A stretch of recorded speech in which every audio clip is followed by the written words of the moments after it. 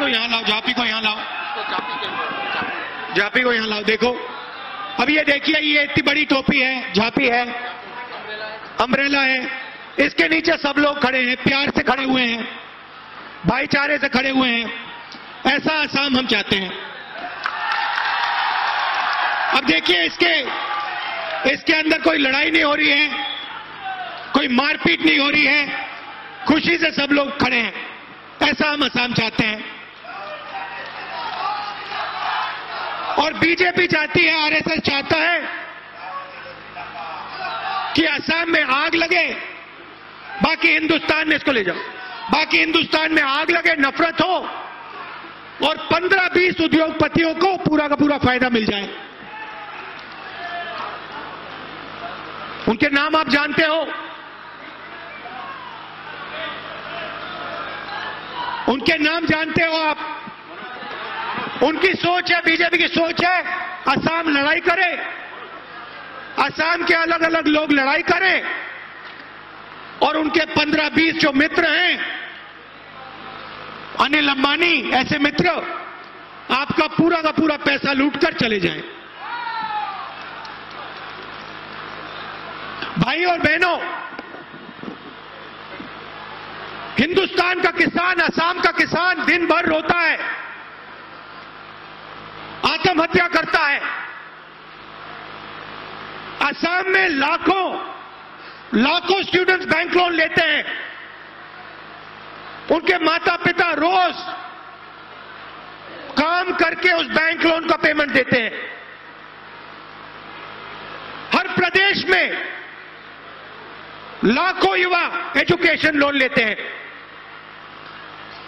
मैं आपसे सवाल पूछना चाहता हूँ और असम के हर युवा से पूछना चाहता हूँ, नरेंद्र मोदी पिछले चार साल में पंद्रह लोगों का साढ़े तीन लाख करोड़ रुपए माफ़ कर सकता है।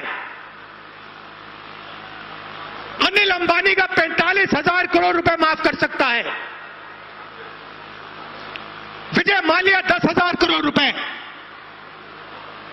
ललित मोदी, नीरव मोदी तैंतीस हज़ार करोड़ रुपए। मैं आपसे पूछना चाहता हूँ, अगर तीन लाख पचास हज़ार करोड़ रुपए नरेंद्र मोदी पंद्रह लोगों का माफ़ कर सकता है तो असम के युवाओं का एजुकेशन लोन क्यों नहीं माफ़ कर सकता है? असम के किसान का कर्जा माफ़ क्यों नहीं कर सकता है? कभी उन्होंने नहीं किया। हमारी तीन सरकारें बनी। मध्य प्रदेश, राजस्थान, छत्तीसगढ़। पंद्रह साल से वहाँ मध्य प्रदेश में किसान का कोई काम नहीं हुआ। हमने साफ़ कह दिया था, देखिए, दस दिन लगेंगे। दस दिन के अंदर मध्य प्रदेश, छत्तीसगढ़, राजस्थान के किसान का कर्जा माफ़ हो जाएगा। बीजेपी के सब नेताओं ने कहा, ना, नहीं हो सकता, पैसा नहीं है। और मैं आपको खुशी से कहना चाहता हूँ, दस दिन नहीं लगे। दो दिन के अंदर तीनों स्टेट का कर्जा माफ़ हो गया।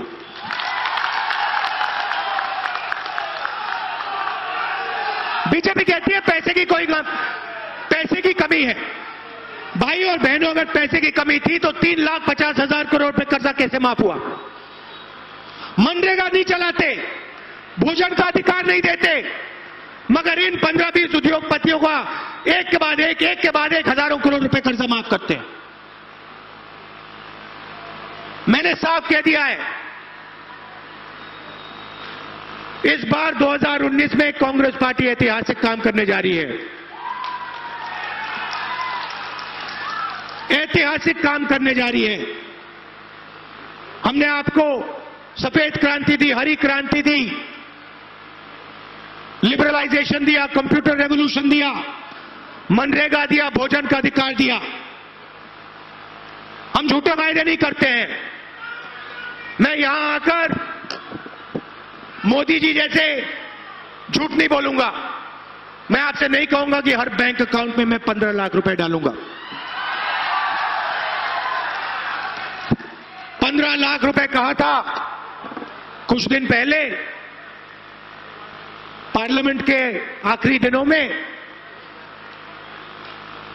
पीयूष गोयल जी भाषण देते हैं। भाषण देते हैं।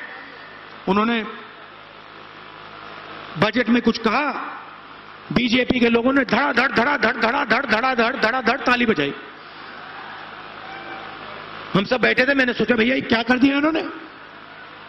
कि मतलब पाँच मिनट, यूँ धड़ धड़ धड़ धड़ धड़ धड़ धड़ धड़, पाँच मिनट ताली बजी। मैंने सोचा, बड़ा काम किया होगा। मैंने खारगे जी से पूछा, भैया, इन्होंने क्या किया? खारगे जी कहते हैं अनाउंसमेंट किया है कि हिंदुस्तान के किसान को हर रोज सत्रह रुपए देंगे। अनिल अंबानी को पैंतालीस हज़ार करोड़ रुपए। नीरव मोदी को पैंतीस हज़ार करोड़ रुपए। और हिंदुस्तान के किसान को, परिवार को, एक परिवार को सत्रह रुपए दिन के।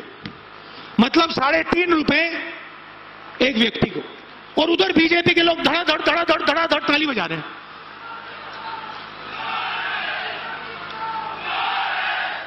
साढ़े तीन लाख करोड़ रुपए आपने माफ़ किए, तब आपने ताली नहीं बजाई। तब आप बिल्कुल चुप थे। हिंदुस्तान के किसान को साढ़े तीन रुपए देते हो, ताली बजाते हो पाँच मिनट। अब कांग्रेस पार्टी बताएगी, अब कांग्रेस पार्टी समझाएगी ताली कैसे बजेगी। अब आप सुनिए, देखिए, हमने निर्णय ले लिया है।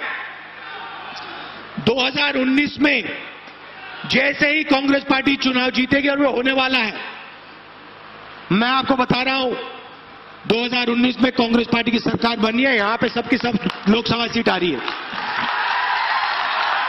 जैसे ही हमारी सरकार बनेगी, Congress party minimum income guarantee लागू कर देगी। मिनिमम इनकम गारंटी का मतलब हर व्यक्ति को साढ़े तीन रुपए देने का नहीं। गारंटी करके हर गरीब व्यक्ति के बैंक अकाउंट में सीधा डायरेक्ट कांग्रेस पार्टी पैसा डालेगी। कोई फ़र्क नहीं पड़ेगा। अगर वो हिंदुस्तानी है और अगर वो गरीब है चाहे वो असम का हो, किसी भी प्रदेश का हो, अरुणाचल का हो, यूपी का हो, बिहार का हो, किसी भी धर्म का हो, किसी भी जात का हो, कोई फ़र्क नहीं पड़ता है। अगर वो हिंदुस्तानी है, अगर वो इस झंडे का है, उसको उसके बैंक अकाउंट में डायरेक्ट पैसा मिलेगा। ये कांग्रेस पार्टी ने निर्णय ले लिया है। जब से 2014 में नरेंद्र मोदी जी की सरकार आई और यहाँ असम में, अरुणाचल में बीजेपी की सरकारें आई। उस दिन से उन्होंने आपकी हिस्ट्री पर, आपके कल्चर पर आक्रमण शुरू कर दिया है। और मैं यहाँ पहले ही कहना चाहता हूँ, देख लीजिए, अच्छी तरह सुन लीजिए, और नागपुर के लोग भी सुन लें। मोहन भगवत सुन लें, नरेंद्र मोदी जी सुन लें।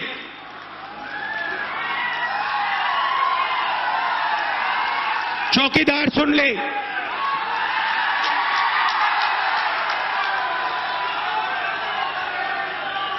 कांग्रेस पार्टी नॉर्थ ईस्ट के इतिहास पर, नॉर्थ ईस्ट के भाषाओं पर, आपके कल्चर पर आक्रमण नहीं होने देगी।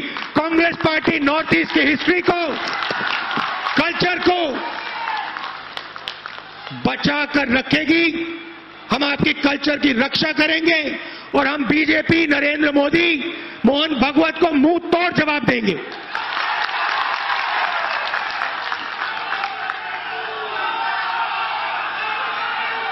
एक के बाद एक एक के बाद एक आपसे छीना गया है। आपको याद होगा, कांग्रेस पार्टी ने असम को स्पेशल स्टेटस दिया था। याद है आपको? याद है ना? नरेंद्र मोदी आरएसएस बीजेपी ने आपसे स्पेशल स्टेटस छीना। सही बात है? और मैं आपको इस स्टेज से कह रहा हूँ, जैसे ही कांग्रेस पार्टी वापस आएगी, आपको स्पेशल स्टेटस वापस मिलेगा। ले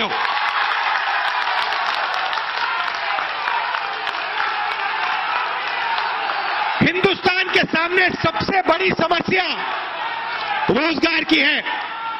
जहाँ भी हम जाते हैं, देश में पूछते हैं, महाराष्ट्र में, असम में, नॉर्थ ईस्ट में, बिहार में, उत्तर प्रदेश में, हिंदुस्तान के किसी भी युवा से पूछो, क्या करते हो? नरेंद्र मोदी के हिंदुस्तान में जवाब आता है, कुछ नहीं करते हैं। वो उधर Narendra Modi make in India की बात करते हैं।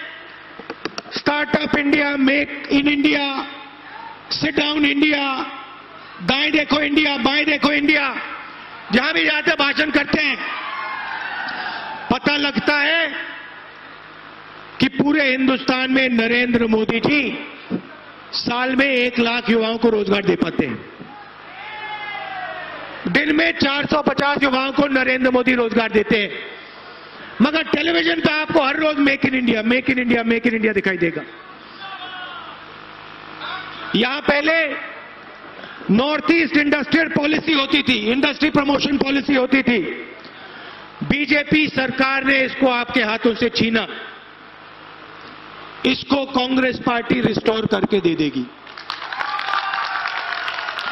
जो आपका पहले रोज़गार का काम होता था, इंडस्ट्रियल डेवलपमेंट का काम होता था, उसको इन्होंने रोका।